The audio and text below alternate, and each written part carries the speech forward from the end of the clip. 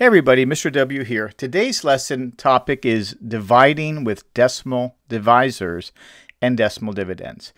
Decimal divisors just means that the number we're dividing by has a decimal point and the dividends also have a decimal point. The main idea for today's lesson is that for problems like this, your job is to move the decimal point to the right, the same number of spaces. Then rewrite the new numbers that you create when you move the decimal point and divide as usual. There are four steps. The first step is move your divisor decimal point all the way over to the right so that you create a whole number. But when you do that, make sure that you count the number of spaces, in this case three, because you'll need that information for the next step. Step two is move the dividend decimal point to the right the same number of spaces, which was three spaces.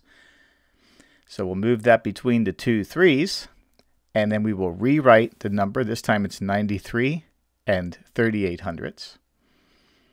Step three is don't forget to write your decimal point for the quotient. You don't have to, it's just a good idea. And make sure that it's lined up between the right place values.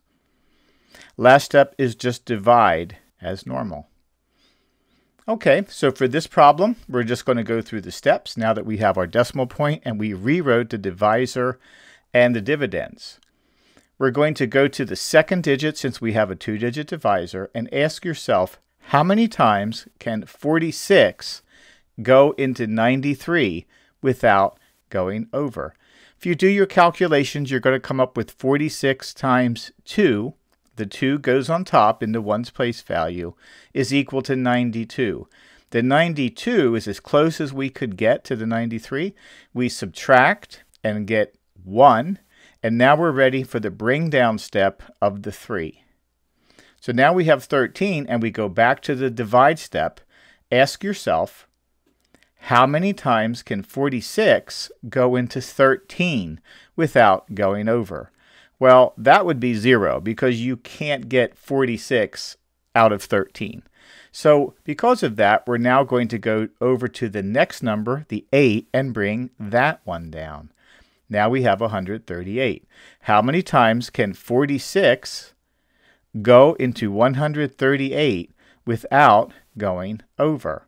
If you do your calculations, that would be 46 times 3, and the 3 goes on the top in the hundredths place value, equals 138, which we write on the bottom. We subtract and we get 0, which means we have no remainder and there's no more numbers to bring down. Our final answer is 2 and 3 hundredths.